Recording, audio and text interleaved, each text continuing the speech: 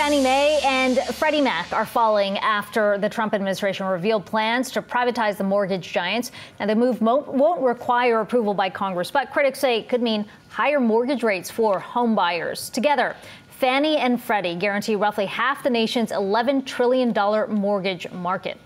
Joining us is Douglas Holtz Eakin. He is the president of the American Action Forum and former director of the Congressional Budget Office. Uh, Doug, it's always good to talk to you. Before we get into that, though, I do want to get your thoughts on the jobs numbers that we came that came out today. Now, you say that we're too focused on the headline number and the unemployment rate. It's too narrow a snapshot of the economic health. So, what is the number that you take away from the data that we got today in terms of where things stand?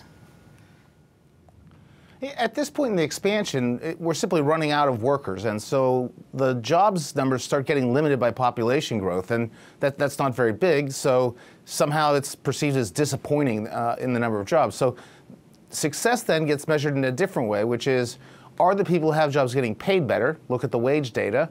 Or is it possible to drag more people into the labor force and induce them uh, to take jobs? And we saw a, a big rise in the labor force and labor force participation. So this report, I think, was about as good as you could expect from this point in the expansion. And I think uh, that's that's uh, stands in great contrast to a lot of the other bad news you hear about the economy in the business sector, manufacturing, which I think uh, is interesting because it really is a tale of two economies: a business sector that's not doing all that well, uh, and a household sector that's pretty strong.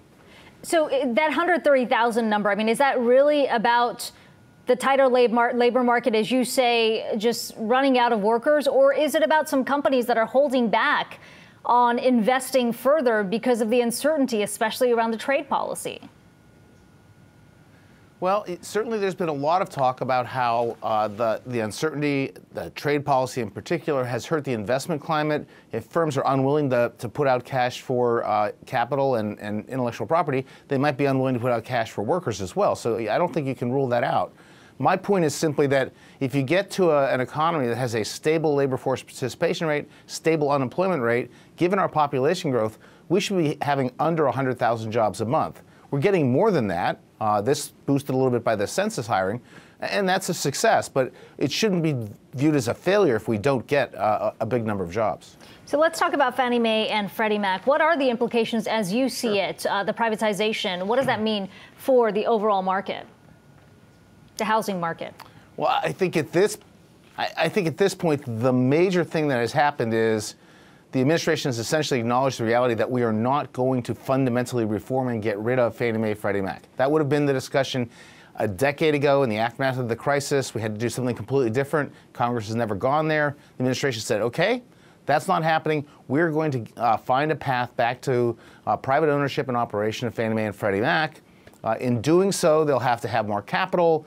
Uh, they'll have to have their lines of business controlled. They can't be as dangerous to the taxpayers as they were uh, originally all of those things would suggest that you hold more capital and otherwise don't uh, go into as much risk. And that suggests that you have interest rates that are going to be a little bit higher on mortgages. But they also said they don't want that to happen. So there's some missing details here that are going to have to get fleshed out with the regulators to see how the full vision unravels. And Doug, finally, we've also heard this idea floated by Treasury Secretary Steven Mnuchin talking about guaranteeing access to 30 year mortgage loans. Um, just curious to get your thoughts and how you think that will change things.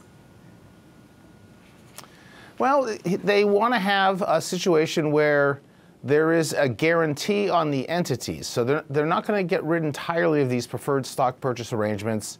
Uh, so they're, they're going to have that in place that's probably the bad news from the point of view of markets, right? The, the profit sweep will go away, but there will be some charge to the, the Treasury in exchange for a backstop. That backstop means that they will stay in business and there will be access to mortgages. Uh, there will also be a cash window so that entities of all sizes can, can uh, bring mortgages to Fannie and Freddie. So they, they're trying to maintain the uh, structure that would give that access, uh, backstop uh, by, the, by the Treasury, but it comes at a price. Okay, Douglas Holtz Eakin, always good to talk to you.